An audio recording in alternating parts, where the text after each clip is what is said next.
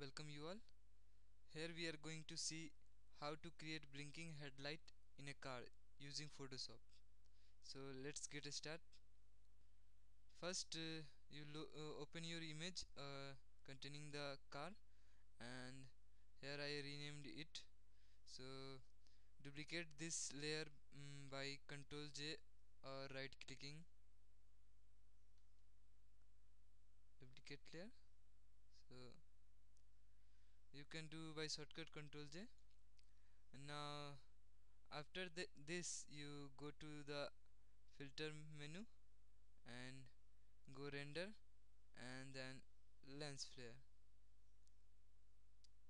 We will open this lens flare window uh, try to make uh, uh, uh choose the 105 prime and brightness to 75 percent or you can increase it to 80 okay? Uh, then uh, adjust this uh, according to you or your car headlight okay? Uh, and press ok see the effect? Similarly we do with the other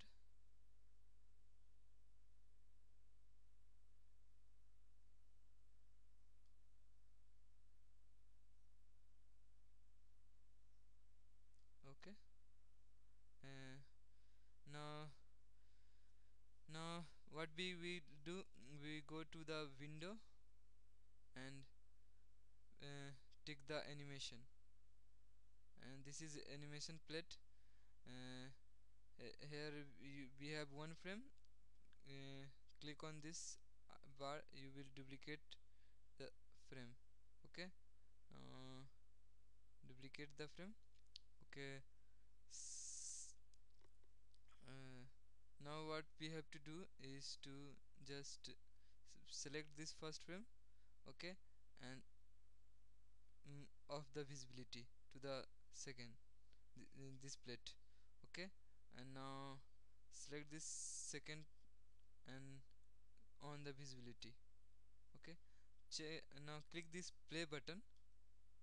Oh this is taking 0 second so change the to 5 of the both and now play.